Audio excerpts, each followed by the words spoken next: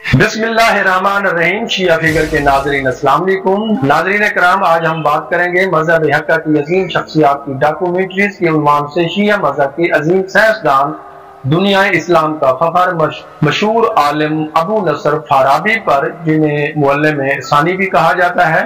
तुर्किस्तान के शहर फाराब के गाँव वसेज में आठ सौ बहत्तर ईस्वी और दो सौ अठावन हिजरी में पैदा हुए।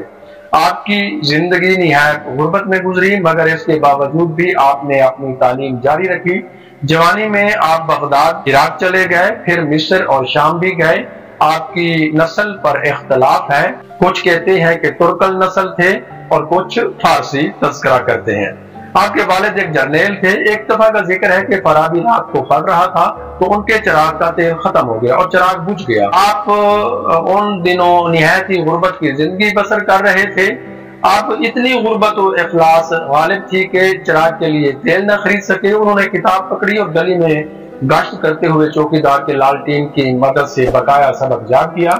दूसरे दिन भी पहरेदार से दरखास्त की कि उसे पढ़ने की सहूलत दे, मगर चौकीदार ना माना। जबकि फाराबी ने कहा कि आप चलते रहे, मैं आपके पीछे लालटीन की रोशनी की मदद से अपना सबक याद कर लूँगा। इसी तरह चौकीदार ने तालीम में दिलचस्पी देखकर फराबी को नया लालटीन खरीद कर दिया, ताकि वो अपनी तालीम जारी रख सके। फराबी का ये वाक्य हमारे लिए और हमारी नस्लों के लिए रहती दुनिया तक बेहतरीन मिसाल है। आपने मुसलसल 50 साल तक इल्म की तहसील में गुजार दिए सबसे पहले जबान, ग्रामर और मैट्रिक्स पर तवज्जो दी। अरस्तु के बाद फराबी बहुत ज़्यादा एहतराम किया जाने वाला शख्सियात में से था। उन्होंने एक मसीह उस्ताद महर जुहन्ना बिन हयान से भी इल्म हासिल किया। बाद में सैफुलदौला के पास पहुंचकर दरबार से वाबस्ता हो गए। खराबी, इल्म अदब फलसफा रियाजी, मौसीकी मंतक इमरानियात, सियासियात और तिबियात समेत खला के वजूद पर बहुत तहकीकत की।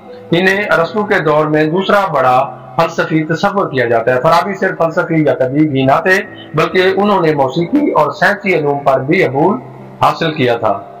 सूफीज़म पर भी गहरी दिलचस्पी रखते थे बातनी इल्म को तरजीह देते थे। वो सैकड़ों कुतब के मुसनफ थे। उनकी कुतब में अलमोसीकी अलकबीरा मानी अकल और आरा समेत बहुत सी कुतब मशहूर हैं। फराबी अपने वक्त के उमदा शहर भी थे। उनकी एक तवील दुआ जिन्हें मर्रखीन ने भी ज़िक्र किया है, वो बहुत मशहूर है। फराबी पहले मंतक दान थे। अबू बशर बिन जूनस ने इन्हें इस तरफ़ मुतवजो किया था। फराबी को इस्लामी दुनिया में फलसफा का बानी तस्वर किया जाता है, मगर उस वक्त के अलकुंदी, अलराजी भी मौजूद थे, मगर फराबी को उन पर फोकियत दी जाती है। यूनानी जबान और फ़िक्र में दिलचस्पी की वजह से उन्होंने बाद नतीम में भी तालीम हासिल की। आजकल फराबी के मुतल इस बात पर भी बहस की जाती है वो किस इल्म में ज़्यादा दिलचस्पी रखते थे। मालूम होता है कि सियासत पर उनकी गहरी नज़र थी, क्योंकि मोहसिन मेहदी और चार्ल्स विटरवर्थ ने उनकी जिन किताबों का ज़्यादा तर्जमा किया वो इसी मौजू पर है। उनकी ये कुतब इंग्लिश में वाफिर मकदार में आसानी से दस्तियाब है।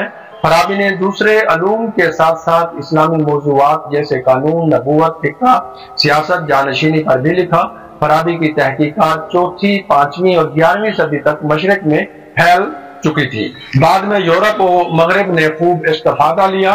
यूरोप की काफ़ी जबानों में उनकी कुतब के तराजम हुए। इस्तांबुल के कुतब खाने में काफ़ी कुतब इस वक्त भी मौजूद है। नबूवत के मुतलिक फराबी का अकीदा था कि इस पर इल्हाम होना चाहिए। मुआजात को भी नबूवत की पहचान समझते थे।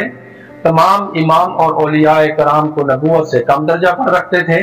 तफसीर कुरान के जमन में कुछ अकैद को रिवायती समझते हैं। ऐसे सामियात जो नाकाबिल बयान है, क्यामत जजा सजा को ईमान का लाजमी जो समझते थे। आखिरी ज़िंदगी में बदमनी की वजह से 20 साल देने के बाद बगदाद, इराक छोड़कर दमिश के शहर हलब चले गए।